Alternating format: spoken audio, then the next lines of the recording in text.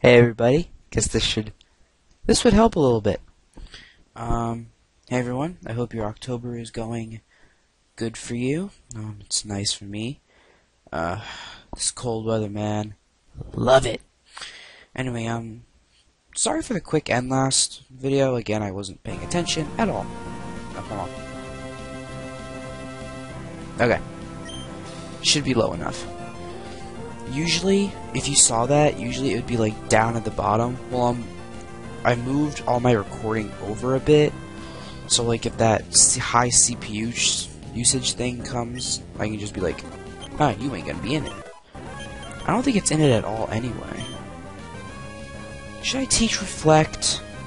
It could come in handy. It does raise defense. Weakens physical attacks. That's good for normal type. But I want to keep teleport. Okay. I'll get rid of confusion. Because Psybeam can confuse the foe as well. Yo, you know the counter? My counter right here?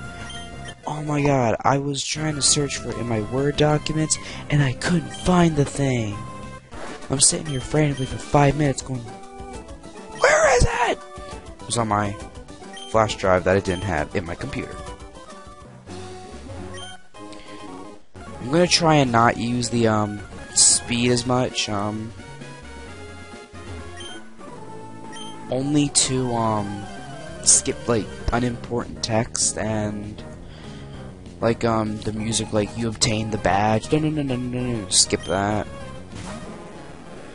And skip these pointless battles. The only thing I won't skip is the important battles. Oops. Out of here. Ah, I hate it when my move misses. It's like, really? Really? You had to miss? Barboach is half ground type, so water type attacks will work decent against him.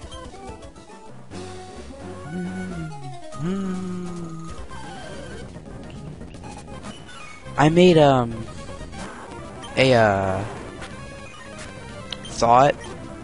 Um, I do want to try and catch one Pokemon each video. If not, update the Pokedex at least once.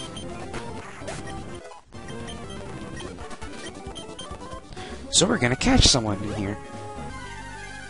Please be a uh, Lotad. Ah, Lombre. I don't want a Lombre. I want a Lotad. I'll take that. Love Seviper, man. Come on. How you can't poison me though. Ooh. Shedinja.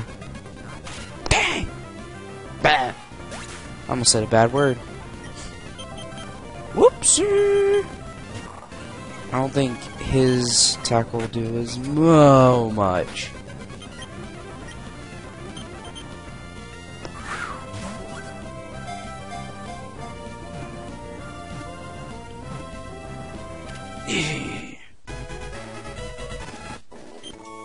Alright, that in, that makes our um update.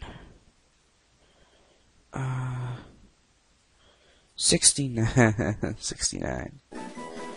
If you're young, you won't get it. Seviper and Zangoose are eternal rivals. It counters a Zangoose's dazzling agility with its sword-like tail, which also oozes a horrible poison. For that, we are going to have to trade to get him. I just thought of a cool setup I could do while trading. hmm It involves face cam. I'm not going to tell you anymore. Let's let's do some progressing. I'm not going to catch Lotad now. I'm probably going to catch him in the next video. Because I do want to have, um... Ah! Okay, whatever. I want to do some progressing, so... I'm going to skip the trainer battles, so... I hope you don't get mad. Alright, everybody, we're back. I went to this spot and I healed everybody.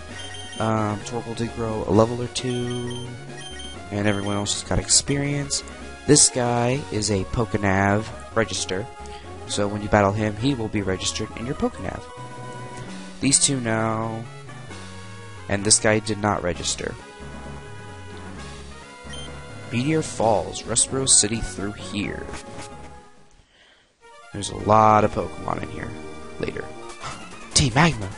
Hee hee hee. With this meteorite, that thing in Mount Chimney will... Huh?